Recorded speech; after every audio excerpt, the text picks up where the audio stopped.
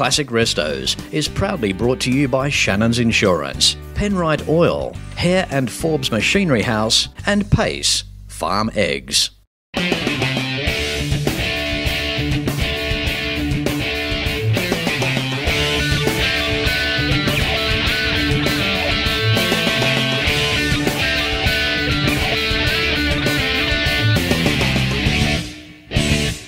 Welcome back to the second episode of the 2016 Kumeu Classic Car and Hot Rod Festival here in beautiful New Zealand. But first, here's this. It's thanks to Shannon's. Ask about multi policy discounts and sign up for the Shannon's Club. Call 134646 for a quote and see more at shannons.com.au. For oils, coolants, additives, and technical assistance, Oil Right, use Penrite. And Hare and Forbes has the range. Buy online at machineryhouse.com.au. In the northern hemisphere of New Zealand, car events don't get much bigger than this. Up to 3,000 vehicles over three big days. This is Sunday, the last day, and there's no signs of this event backing off. On last week's TV episode of Classic Restos, we debuted the 2016 Kumeu Classic Car and Hot Rod Festival. First fish off the rank was Eric and his amazing 1968 Barracuda. Then there was Dan the Man with a busted hand and an early rat rod that seemed on the piss. It was that insanely archaic. Kevin and Judy's 1956 Chevy Nomad attracted big looks because of its rarity, and Michael's 1934 Ford V8 Roadster set a benchmark. What a car! Then we ended up with an emotional spin from Alan with his stunning 1969 HT GTS Monaro. It belonged to a mate that had passed, and then Alan restored it. So now, stay in your favourite couch as I bring you more of the 2016 Kumeu Classic Car and Hot Rod Festival. When it comes to long and cool, it's pretty hard to go past this. How you doing, Jeff? Yeah, good, thanks, Sledge. That's the way, mate. Had a big night last night, mate, did you? Yeah, a few too many, as you do when you're here. That's the one, mate. This is what it's all about. What an awesome weekend here, right? You know, it's a good. It's it's it's it's the the year. It's good. It's real good. When it comes to long and cool, it's pretty hard to go past this. A four door 1960 Impala, stainless steel trim galore, and look at that back glass, the way that wraps around. What a cool thing. Yeah, it's that's quite a neat and an, an original old car. It's um, it is what it is, and uh, it's lived a life. Um, yeah, I love it. Jeff, it's an unrestored example, like you say. I mean, uh, to come this far from 1960 and and keep this originality is just so awesome. Love the V8 up front. But this has also got a V in the trunk. What a shape! Yeah, no, nah, it's uh, yeah, definitely the. I love them. Pretty, pretty car. You know. How does it ride? Yeah, good, good. It's not a sports car, but yeah, yeah, goes and stops well. That's what they were designed for, weren't they? A to B, straight line, in comfort, and a whole heap of style and class to go with it. Yeah, mate. No, it's good. Now, Jeff, what powers it up front? It's a big block 348, original tri-power car, three carb car. Yeah, yeah, quite quite a rare old car, but yeah, no, goes good. Type of transmission you got? Uh, power glide, cast iron power glide. So yeah. There's a lot to be said for those as well. Yeah, mate. Um, okay, now uh, when we look at the trim, we look at the interior of the car. I mean, obviously, this hasn't had a hard life. Um, what can you tell us in terms of history? Uh, was friend of mine bought it in out of he bought it out of Reno auction, and it was a deceased estate. Uh, the old fella bought it Reno uh, Reno Chev dealer in 1960, and yeah, he when he died, it went to his grandson. It sat at his grandson's shed for 25 years, and that's when it turned up over here. So yeah, it, it's done 98,000 miles, pretty well genuine. So yeah, it's a, just a good clean old car. Now, Jeff, this particular car here, the wheels, you've gone the big chromies on there, kind of cool, sort of suits the era a little bit, doesn't it? Yeah, it's about, uh, yeah, for me, it's about if I bought this car new back in 1960, what wheels would you use on it? And, yeah. And it's, yeah, I'm not a big wheel sort of a guy, and the, the wide whites tend to suit it, you know? Yeah, it's highlighted by the white walls. I mean, obviously, back in the day, steel wheels would have had a, a full dress rim cover over those steel wheels when it would, was new. Um, but look, I, I like the look. It sits a little lower. It just showcases nicely with the chrome. It's pretty neat. Yeah, mate, and there's plenty of chrome in this car. I tell you, when you've got to clean it, mate, there's plenty involved in that. Good on you, Jeff. Mate, thank you so much. Oh, look, you know, it's a big call for these guys. First thing Sunday morning, and what they mm. put themselves through Saturday night. I'm amazed, I'm amazed you're even upright. yeah, mate. Yeah, no, it's all good. Home to bed, home to bed. All these blokes are going home for a rest. Good on you, mate. Cheers, Fletch. Thank you. How could you not love this Chevy Impala? One distinct feature that I adore of the car four door and pillarless. No post here to knock your arm on getting in and out. And what about the side profile? A stainless steel rocket with Impala logo in the white Jetstream. What style? What class? Car makers, they can't build cars like this anymore. This is a lost era. From one 1960s land yacht to another 1960s car, we've got a Volkswagen. We've got Joel. Hello, Joel. How you doing? It's nice to meet you. Yeah. Thank you. Hey, thanks for bringing this Dak Dak along. Oh, pleasure.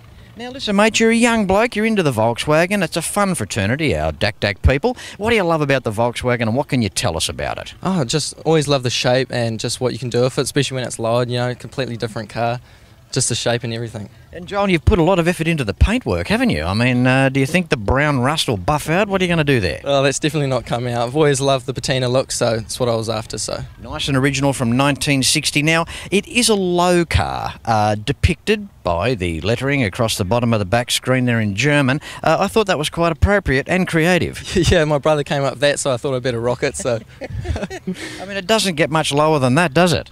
no, not really. No.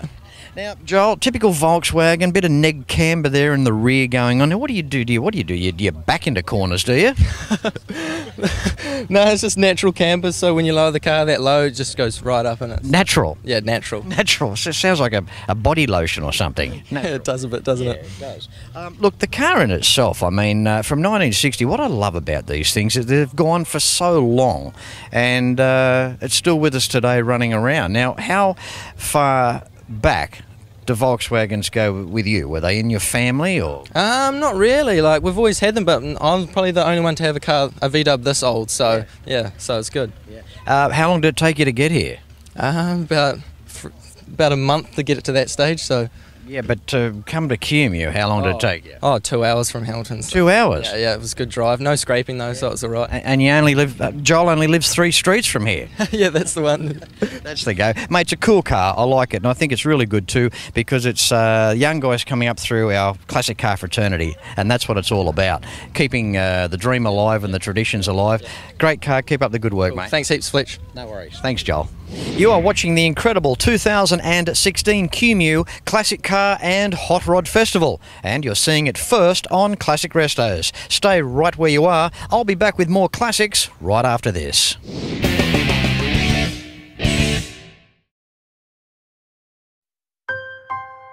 We've always had a few cars.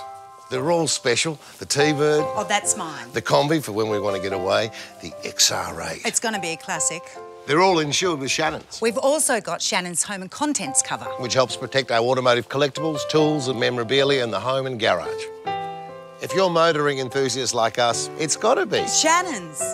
Shannon's, insurance for motoring enthusiasts. Call 13 46 46 for a quote. If you need a new piece of equipment for your workshop, you need Hare and Forbes Machinery House.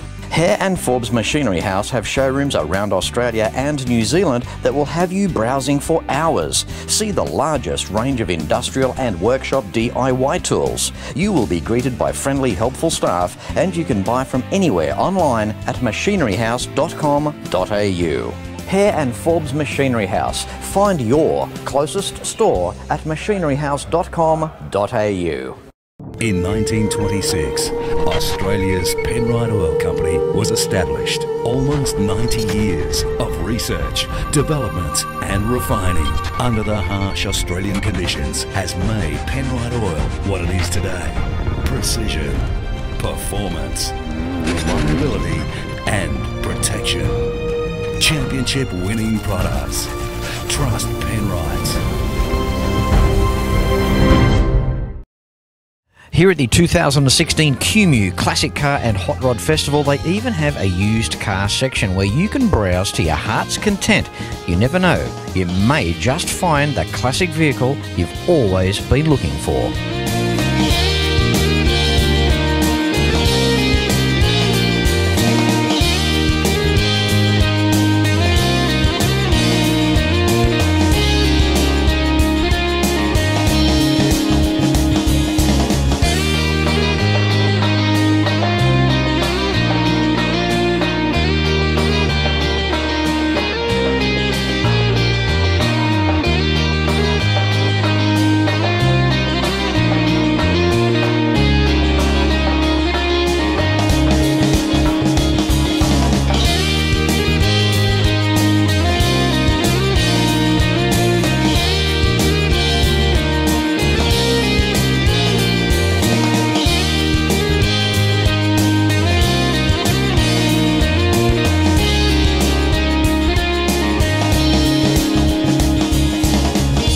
Time for Neil now on today's show. How you doing, Neil? Yeah, not too bad, Fletch. That's the way, mate. An incredible Thunderbird. You know, cars come along sometimes, and yes, Fletchy gets stuck for words. There's only so many words you can come up with to describe such a car.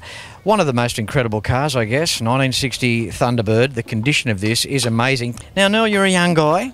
Having this type of car, it's not every day of the week that you, you see that. You must have a, an admiration for this style of vehicle. Where does the Thunderbird go back with you? Um, well, I've always been into them. My, my grandfather used to collect old Fords, and my, my dad was into them, and uh, got me into them. It's just been part of the family. What did you learn to drive on? I learned to drive in a 63 Fairlane Coupe. See, there you go. See, there it is. That, that that's what I was looking for. This is where it's always interesting to find out where it goes back, where we get our interest from to inspire us to end up with the cars that we have. That is just amazing. Now, tell us what you've done to the car since you've had it, Neil. Um, well, I've pretty much fully rebuilt everything except for the body. I've, I've left the paint original, and the, well, the interior, the seats are all original still. Um, but I've rebuilt the motor, so it's 390, but it's got alloy heads and forged pistons, forged rods, all, all, all the gear in it. It's just, it's just stunning. I mean, it's stunning all day long. Uh, yeah, it's, it's not a bad example. It's pretty hard to find one that good. Now, when we look at this interior, now to me, uh, an elderly couple that you bought it from. Yeah, well, it was just the, the original owners that we bought it from in uh, Oakland, California, Yeah. and they were they were in their 70s, and they just didn't use the car anymore, so they were just lucky. I kept it in a nice dark, dry garage, and Were they emotional to see it go? um, I wasn't actually there. I bought it sight unseen, so they were over in the states, and I was over here in New Zealand. No, in, no indication on the telephone or any communication that they were reluctant. Well, that I was actually dealing with a, a woman who was a real estate agent. She was she was actually selling it on behalf of the people that, that owned it. So Poor old people, they might not even know it's even left their garage. I sent him some photos. I sent the old guy some photos since since I've done it all up, and yeah, he was pretty happy to see it all all done. Neil, it's an absolute credit to you. It really is. Uh, I mean, to think too. I mean, when we look at this interior, I mean, it's done nothing. It really has done nothing. I mean, it hasn't had a hard life. Uh, it's been in a garage all its life and hasn't been outside. You can just tell. I just can't believe when you look at little things how brand new they look. Yeah, it's all, it's all original. The, the the only thing I've replaced in there is the rubber floor mats. Otherwise, it's completely original. Nothing nothing's been touched. It's just all all as it was. Now, Neil, up front, the big 390, the FE block. What have you done there? Uh, it's been fully rebuilt from top to bottom. The only original thing left on it is the block. Uh, it's got alloy heads on it and stainless roller rockers, forged rods, forged pistons. Uh, you, you name it, it's got it pretty much. And uh, What did you do camshaft wise? uh, it's got a cryo, cryo cam in it, which was all matched matched to suit what we were wanting to do with it. Did you go a roller cam? Uh, no, it's a flat tappet, hydraulic flat tappet, but it was just something mild because it's a street car and we do a lot of miles in it. So That's good, and uh, keeping it uh, a little bit period correct as well. Uh, carbies? uh, it's just got a Holley 670 Street Avenger carb on it. Yep. The attention to detail around your engine bay is uh, just as uh, unsurpassed as what you've done on the interior of the car as well, might I say. Yeah, oh, the interior is all completely original, but yeah, the, the engine bay we've, we've repainted everything and detailed it, like zinc plated all the bolts and done done everything, so it looks just like brand new. Automatic transmission, what's going on there? Uh, It's still got the original Cruise-O-Matic in it for now, but we're we're right on the limit of what the of the power that that can handle, so we're going to be changing to a C6 soon, that, uh, so that I can enjoy it a bit more. Yeah, this guy's on a mission. And uh, last but not least, rear end. What are you doing with uh, rear ratio there in the back? Uh, it's still got the factory nine inch in it, but it's been all fully rebuilt and it's just a three to one ratio. What do you do for work, Neil? Uh, I run Phoenix Audio New Zealand, so we build retro sound systems for, for classic cars. So we take the old original radios and, and we rebuild them with modern technology inside them. Uh, give them really, really good performance and they keep them looking original. Good on you, Neil. I don't usually do this, but I tell you what, we're going to give you a plug. What's your website?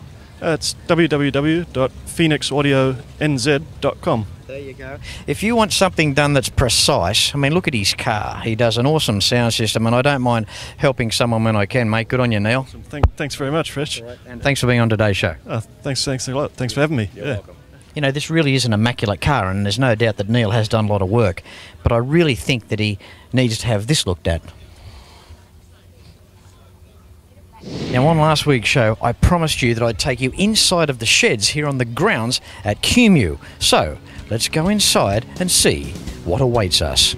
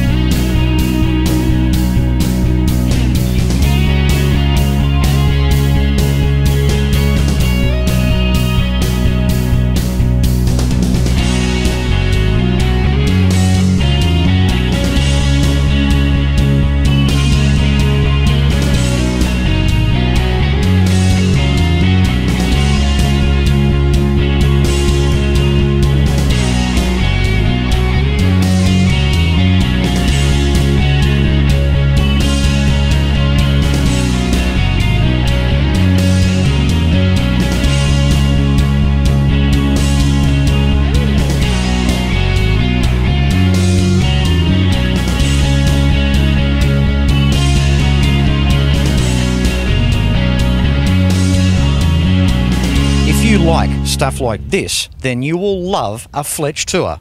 Have a look at this. There is nothing quite like a Fletch Tour. Carlisle or Ford Nationals, GM Nationals, and Chrysler Nationals await you. On a Fletch Tour, you don't have to worry about a thing. I can't believe how good it's been. Experience Route 66 We're definitely coming back to do Route 66. or choose the Detroit Tour, attending the Woodward Dream Cruise. On a Fletch tour, every day just gets better and better. You've got to do something in your life, you've got to do a Fletch tour. There are five Fletch Tours. See fletchtours.com or contact All Things Travel, Lara.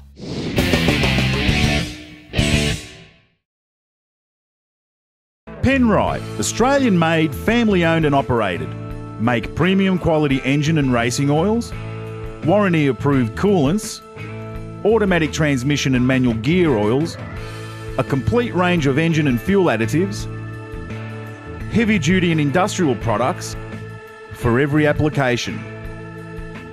Visit penriteoil.com for more information. Penrite, Australian made for Australian conditions since 1926. If you need a new piece of equipment for your workshop, you need Hare and Forbes Machinery House. From a garage jack through to a lathe, Hare and Forbes has the range. And Hare and Forbes Machinery House are Australian owned, established since 1930. You will be greeted by friendly, helpful staff, and you can buy from anywhere online at machineryhouse.com.au. Hare and Forbes Machinery House. Find your closest store at machineryhouse.com.au. I spend a lot of time out here. The RT Charger's the real deal. An E49. Remember A Charger? I've always got projects on the go, so Shannon's laid up cover helps protect my restorations. I'm Mopar through and through. It's a passion Shannon's understands. I wouldn't insure my cars and bikes with anyone else. Shannon's, insurance for motoring enthusiasts. Call 13 46 46 for a quote.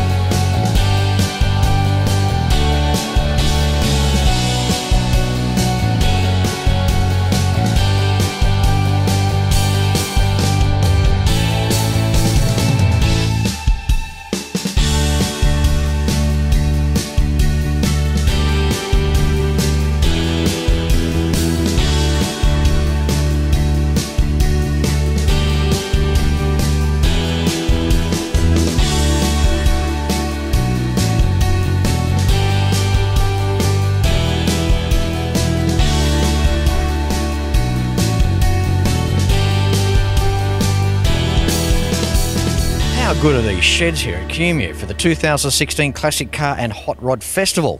It's time now for Malcolm with a stunning 1936 Packard. How are you, Malcolm? I'm well, thanks, Fletch. How are you? Good. Uh, I hope you didn't mind me picking on you. Not at all, not at all. You bring a car like this along to an event like this, you're going to get picked on for television. I'm sorry about that. Yeah, I guess so, but uh, we use the car a lot and we quite often are out on the street and, and, and uh, it attracts a lot of attention. What a stunning machine. And you know what I've noticed in the front? You have got some little stone chips there. You do drive this car. Absolutely. We drive this car right down to the bottom of South Island. Uh, we use it all the time. During the summer, every weekend, we're out in the car. Isn't that good? Isn't that good? I mean, I think a lot of these types of cars tend to park up a lot and not be used. So you're using it to its full advantage. It must be uh, an incredible thing to drive. It's a great car to drive. Um, it's a very, very comfortable car to drive. It's got independent front suspension. It's got very good steering. Um, so it drives somewhat like a modern car, uh, but it's still got that lovely uniqueness of a, of a sort of classic car. Malcolm, I still can't stop thinking about what this must have been like back in 1936. I mean, the type of person here in New Zealand, just after the Depression, to be able to have afforded a vehicle like this must have been an exception to the rule. Well, yes. I mean, Packard's was right up there with Cadillac as the top of the tree, and so it would be, you know, New Zealand coming out of the depression. Probably the likes of doctors, lawyers, those sort of people would be would be Packard owners. Now, Malcolm, I notice it's a right-hand drive car too. Absolutely. This is actually a factory right-hand drive car. and it was first registered in May 1936 here in New Zealand, and it's never been unregistered. So this car has been on the road for its whole life. So assembled here in New Zealand? No, no, it was assembled in, um, well, we're not sure of the USA or in Canada, Right. but assembled as a right-hand drive car in 1936. Well, there you go, right hand drive factory. That, that's great. That really is. Uh, also, too, on a Fletch tour, uh, we take you to or past the Packard plant in Detroit. Now, Malcolm, you've got the Packard Proving Grounds T-shirt on as well. That's another interesting place to go to when you visit Detroit as well. There's a, a little bit of the testing ground or the proving grounds there left, probably about an 80 metre section of concrete. You've been there, right? I've been there, absolutely. So the really all that's left, apart from the uh, the oval, which, as you say, there's only about 100 metres of that left. There's the engineering sheds and, and things like that, and the original lodge. Uh, we were there just August of last year, and it was just fantastic to actually be there on the site where they used to test these cars. This one may even have been around that test track. So many mighty manufacturers went under uh, due to adverse situations and conditions. Uh, the story of Preston Tucker. Uh, and I think also, too, that the uh, Packard is definitely one of those cars that's a very sad story because they were such a fantastic made car. They were a well built car. And when you stop and think about it, for all rhyme or reason, uh, there was nothing to suggest why the Packard should not have continued. Well, excuse me, um, Packard actually merged with Studebaker in about 1954 55. And uh, I think they just made a really big mistake because, uh, unfortunately, uh, the company that, that owned Packard and Studebaker then tended to asset strip it. So basically, all the assets from Packard got used. And uh, it was really sad that uh, within another two or three years, Packard was no name was no longer. I think one good thing uh, in respect of that, at least they've got the symbol that they have today because they're not made anymore. And I mean, this is just a moving time capsule, it really is. Um, what's the weight of the car, Malcolm? Uh, I'm not really sure. I think it's about a ton and a half. Yeah, right. Yeah. Okay. Yeah, uh, basically, these were like they were like car, they were like cars on truck chassis, weren't they? Well, they were very strongly built, but also they were built uh, very refined engineering so that they were good and easy to drive. My wife drives this car with no difficulty, steering and gearbox, no problems at all. Um, so it's a big car, but it drives easily. Isn't it nice to have the spare wheel on the fender, on that sweeping fender, uh, just ahead of the running board? I, I just think that in itself is just class all day long. Yeah, I think the twin side mounts just really, as you say, just give the car that little bit of extra class, and the the chrome wire wheels just really set the car off so nice. What powers it up front, Malcolm? It's a straight eight. Uh, though this was called the Model 120, and it stood for the 120 inch wheelbase and 120 brake horsepower.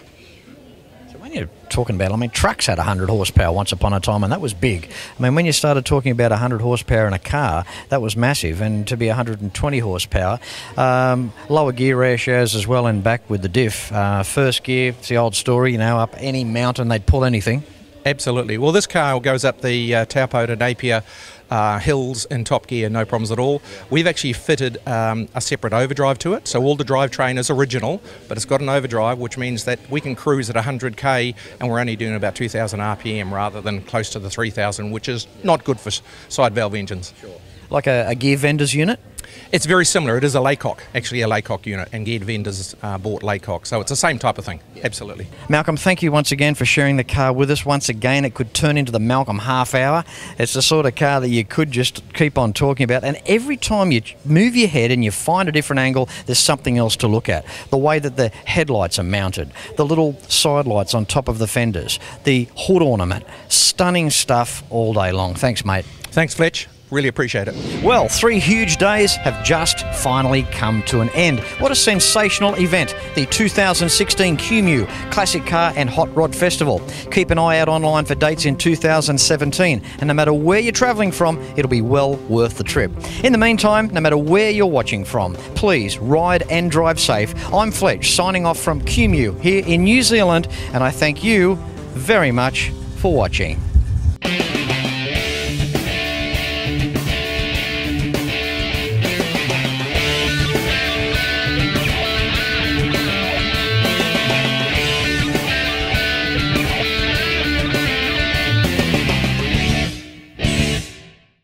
You can like and follow us on Facebook at facebook.com forward slash classic restos TV and watch catch up episodes at shannons.com.au. Classic Restos is proudly brought to you by Shannon's Insurance, Penrite Oil, Hare and Forbes Machinery House, and Pace Farm Eggs.